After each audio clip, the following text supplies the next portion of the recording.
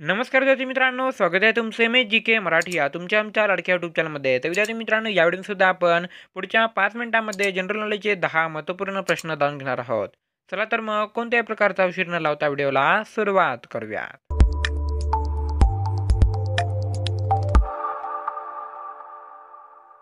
तर विद्यार्थी मित्रांनो आजचा पहिला प्रश्न आहे कोणत्या देशात फक्त सत्तावीस लोक राहतात? या प्रश्नाचं उत्तर आहे ऑप्शन नंबर दोन सिलेंड. मित्रांनो सिलेंड नावाच्या देशामध्ये फक्त सत्तावीस लोक राहतात. हा देश समुद्रामध्ये एक मानवनिर्मित आयलँड आहे आणि यावर फक्त सत्तावीस लोक राहतात. दुसरा प्रश्न आहे कोणत्या प्राण्याचे दात सर्वात मजबूत असतात? या प्रश्नाचं उत्तर आहे ऑप्शन नंबर एक मगर. मित्रांनो मगर या प्राण्याचे दात सर्वात मजबूत असतात. त्यामध्ये सुद्धा जे मगर खाऱ्या पाण्यात राहतात त्यांचे दात अधिक मजबूत असतात.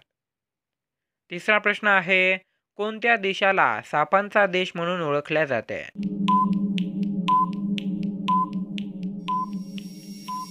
या प्रश्नाचं उत्तर आहे ऑप्शन नंबर चार न्यूझीलँड मित्रांनो न्यूझीलंड या देशाला सापांचा देश म्हणून ओळखले जाते कारण या देशामध्ये सर्वात जास्त प्रकारचे पद्धतीचे जातीचे साप आढळतात.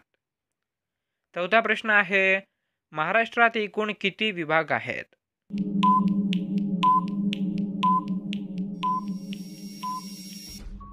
या प्रश्नाचं उत्तर आहे ऑप्शन नंबर तीन सहा. मित्रांनो आपल्या महाराष्ट्र राज्यामध्ये एकूण सहा विभाग आहेत. पाचवा प्रश्न आहे जालियनवाला बाग हत्याकांड कुठे झाला होता?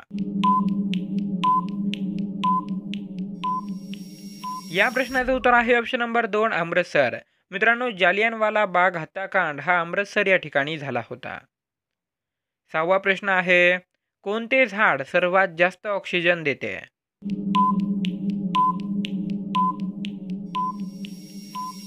या प्रश्नाचं उत्तर आहे ऑप्शन नंबर एक पिंपळाचे. मित्रांनो पिंपळाचे झाड हे सर्वात जास्त ऑक्सिजन देते आणि यामध्ये दुसऱ्या क्रमांकावरती वडाचे झाड येते. सातवा प्रश्न आहे जगात दररोज कोणता पक्षी सर्वात जास्त मारल्या जातो?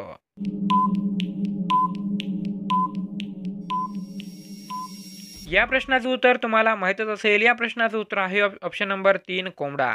मित्रांनो कोंबडा किंवा कोंबडी द जगामध्ये दररोज सर्वात जास्त कोंबड्याला मारले जाते कारण आपल्याला माहीतच आहे. आठवा प्रश्न आहे सूर्याच्या किरणांपासून कोणते विटॅमिन मिळते?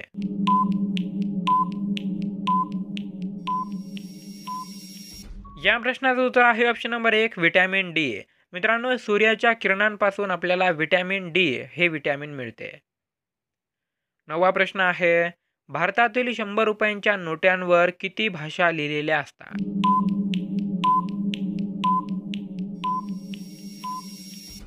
या प्रश्नाचं उत्तर आहे ऑप्शन नंबर तीन सतरा. मित्रांनो भारतातील शंभर रुपयांच्या नोटेवर सतरा भाषा लिहिलेल्या असतात.